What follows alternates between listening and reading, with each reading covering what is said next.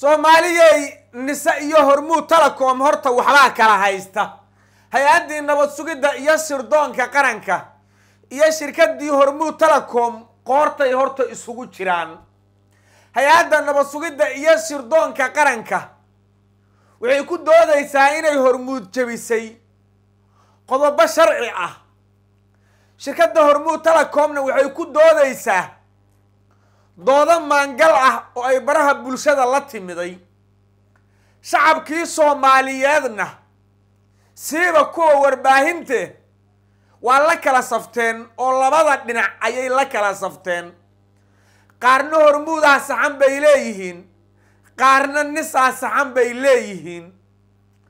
War bal caawa aan dhex galno oo waxyaabaha qaldan isla fiirino laakiin adiga naftaada maxaa qaldan baad is leedahay?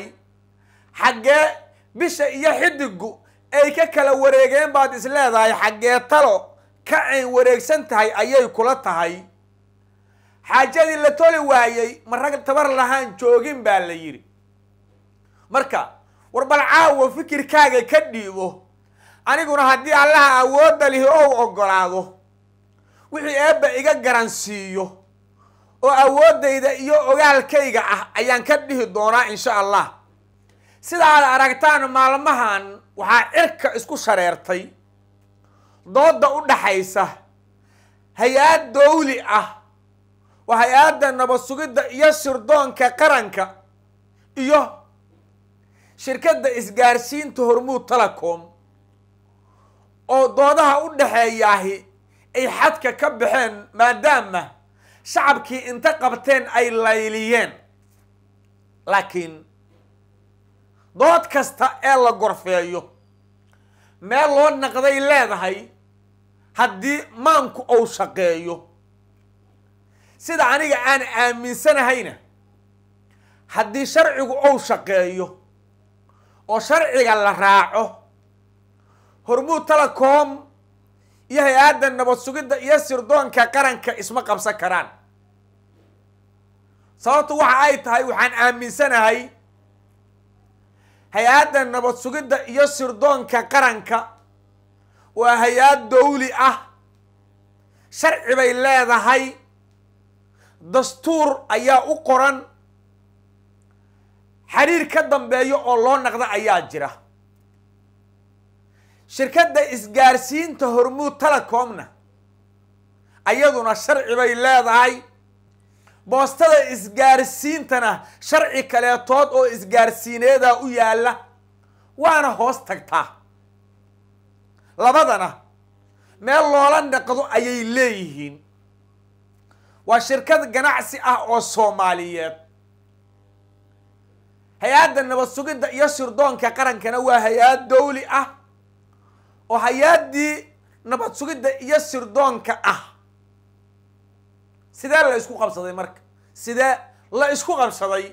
Maxaa qaldan? Yaa sharciga diidan yaase sharciga ku dhaqmaya. Allahu aclam ilaahay uunbaa garanaya.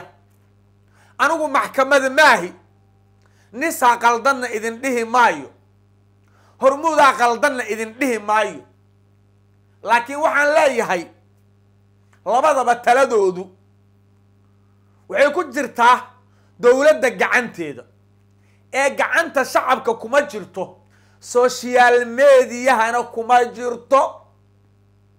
Sharci qoran ayay isgaarsiintu leedahay wasaarad ay hoos tagtana waa jiraa. Hay'adda nabad sugidda iyo sirdoonka qarankana sharci qoranay leedahay. Sharciguna labadaba dowladda ayuu u naqanayaa waxaan ku tali lahay anigoo oday soomaaliyeed ah. Sheekada inta laga soo celiyo warbaahinta hay'adaha ku sharciga leh iyo maxkamadaha go'aankooda iska leh ha la isla aado sharcigana ha la iskula dhaqmo. Haddii hormuud guulaysato wixii ay leedahay ha loo xukumo.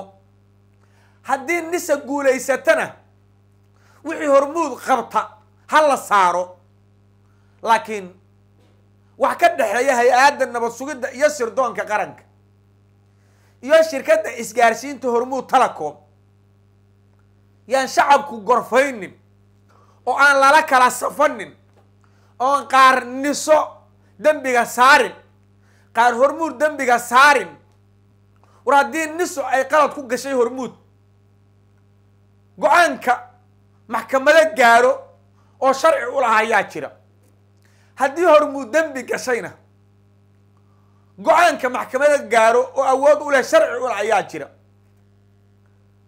Raggan social mediyaa taagan ee la kala safan dab un bay sii hurinayaan wax kala qaban maayaan.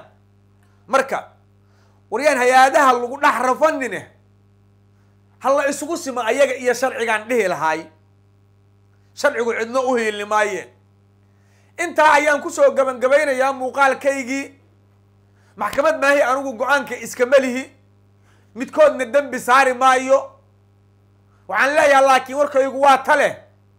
Sharciga ha loo naqdaan leeyahay. Intay daawanayso iyo intii isoo daawata guud ahaanba. Sharaf iyo karaama korkiina ha aato aad iyo aadaan umahadsantihiin muuqaalka sheergareeya leegta ku qabta bagekayga abwaan garaanduur xuseen falowda ku qabta janalkayga youtube ee hanmaal media. Sabskaraabta dhac ku dhaha gambaleelka furta si aad u naqataan daawadaha ugu horeey waa ku mahadsantihiin daawashadiina wasalaamu calaykum waraxmat ullaahi wabarakaatu